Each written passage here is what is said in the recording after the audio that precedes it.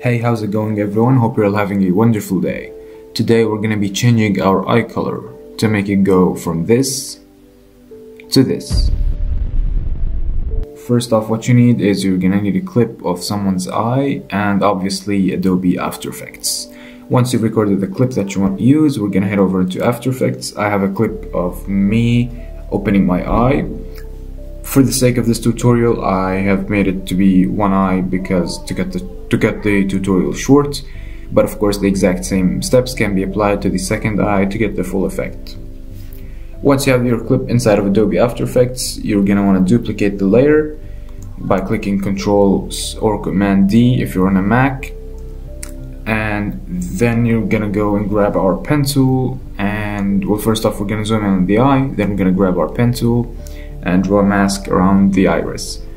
Um, make sure that the mask is not um, on the outer layer or on the edge edges. Try to make it a bit on the inside of the edge and don't worry this doesn't have to be perfect. We're gonna feather it and we're gonna click F to open the mask feather and increase the feather a bit.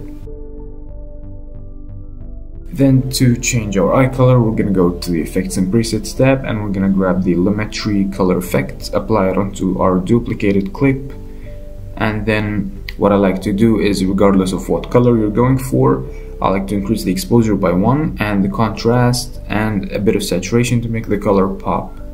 And we increase the contrast to make the color look a bit more realistic and not as if somebody painted the color over your eye. So to change the color open up the curves tab and then depending on which color you want you can just open it up. I chose green and I'm gonna increase um, we're going sort of going for the S curve and you're decreasing the highs and increasing the lows but it's a bit more steep. Of course you can play with this um, depending on what color you're going for. I'm going to increase the feather a bit more.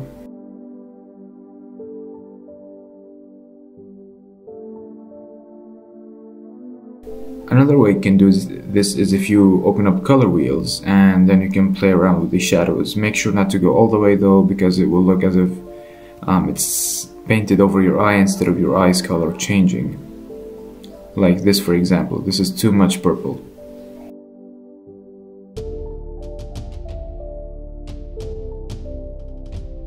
I still prefer using the curves tab as it gives you more um, adjustments, although sometimes to get certain colors you're gonna have to go for the color wheels.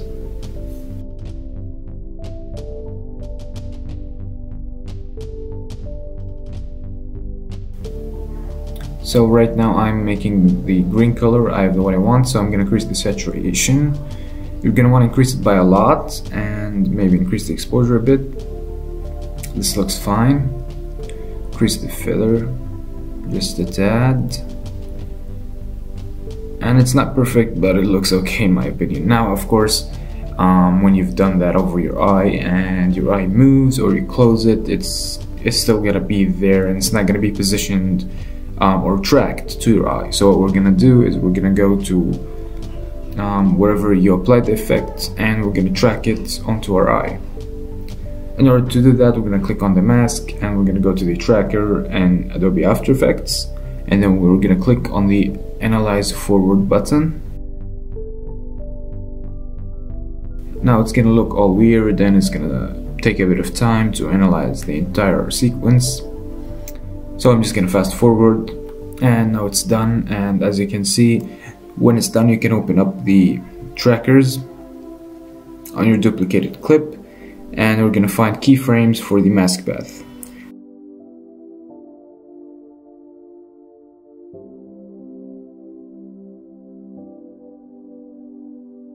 Um, most of the time After Effects um, tracks it very accurately but if, if, for some reason something is off you can always adjust it manually. You have the keyframes right here. And in my case it was perfect. There's no need for any adjustments. So what I'm gonna do is um, at the start of my clip my eyes closed and the mask is still there. So what I want to do is I want to go to mask opacity and keyframe that to start from 0 to 100% when I open my eye. So we're to click on the mask opacity and make a keyframe. It starts from 0% and whenever I open my eye, I'm to add a keyframe and we're to set it to 100%.